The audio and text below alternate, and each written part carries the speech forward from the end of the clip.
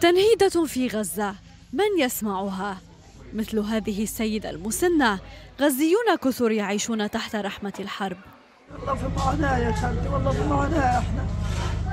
ما إحنا شايفين يوم زي الناس ولا شايفين حاجة ولا شايفين شيء.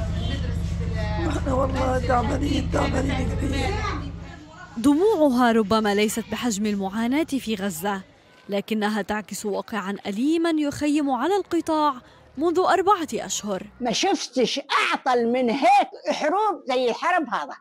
وما شفتش جوع أعطل من الجوع هذا. العيشة هذه على بعطونا إيش؟ علبة تونة.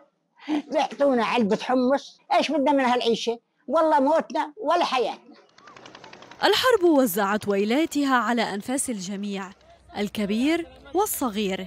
لكن حصة الأسد من نصيب المرضى. طبعا كان متعود على أكله كله على الخلاط ما يعرفش يمضغ ويبلع. زي اللبن لازم يكون أكله. 55 يوم ما تحمم. 55 يوم ما داق الأكل انحط في تمه. أربعة أشهر عاشها الغزيون لم تشبه مثيلها من الحروب السابقة. مشهد نهاية الحرب لا يزال ضبابيا حتى اللحظة. ومحاولة البقاء على قيد الحياة هي سلاح النازحين الوحيد. رغم التعب والمعاناة اللي إحنا عايشينها حنكون أقوى من الوضع اللي إحنا فيه. حنصبر ونصبر ونصبر لغاية ما الله يفرجها علينا. وسط كارثة غزة كل الظروف تنذر باستمرار أزمة إنسانية مزرية تطوق النازحين.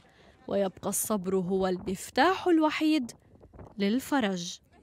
ميرنا حامد العربية.